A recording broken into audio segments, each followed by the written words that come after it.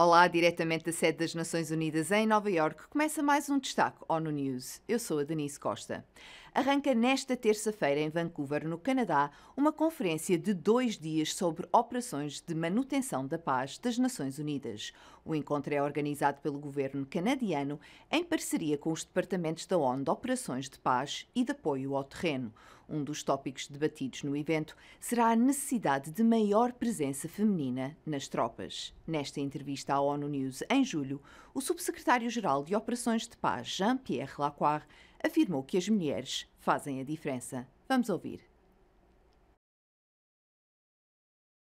Nós precisamos mais mulheres nas nossas operações de manutenção de paz e não é também não, não é somente uma questão de paridade, é uma questão de eficácia, porque uh, as mulheres, em particular os policiais, os militares, uh, podem ajudar muito uh, na, na criação de condições mais favoráveis para a paz porque elas ajudam muito a estreitar a relação com a população, a, a, a aumentar a confiança. Por isso, é também um, uma prioridade para nós.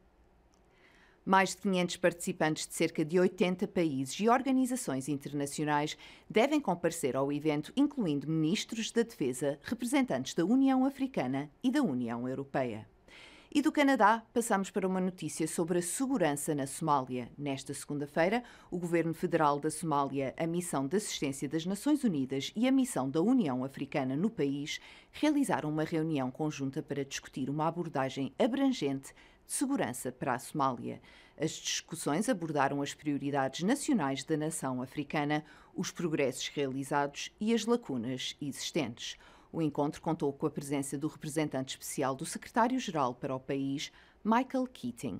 Segundo ele, a principal questão é saber como conciliar estabilização com a continuidade dos progressos alcançados. Keating também notou que o grupo terrorista Al-Shabaab continua a ser a principal ameaça à paz e à estabilidade no país.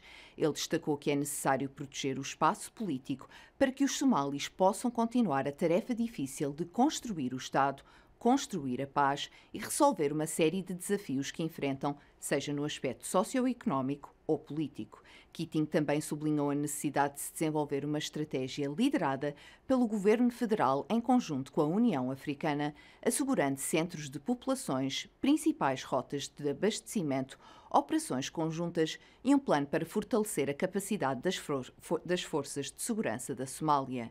No início do ano, o próprio secretário-geral da ONU, António Guterres, esteve no país africano para expressar solidariedade aos somalis e defender a estabilização do país.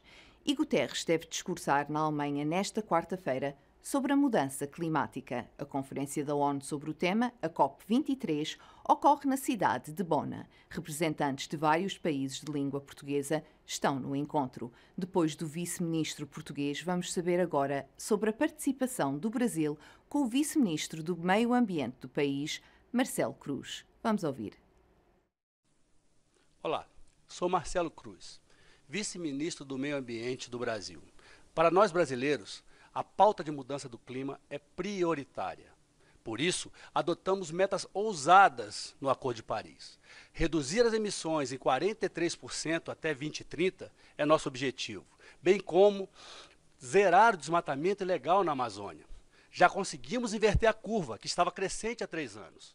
16% de, redação, de redução desculpa, é o dado oficial.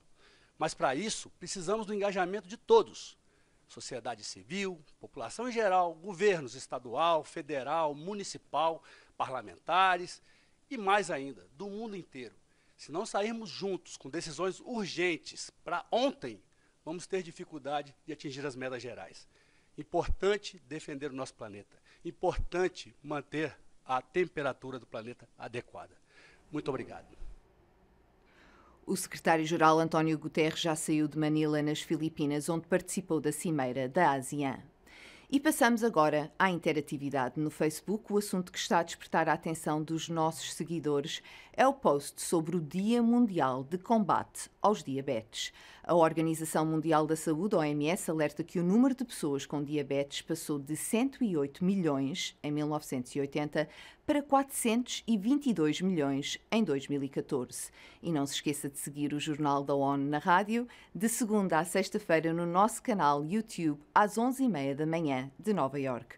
Por hoje é só. Desejamos a todos um bom dia e um abraço para os nossos seguidores no México e na Ilha da Madeira. Obrigada, fique bem e até à próxima.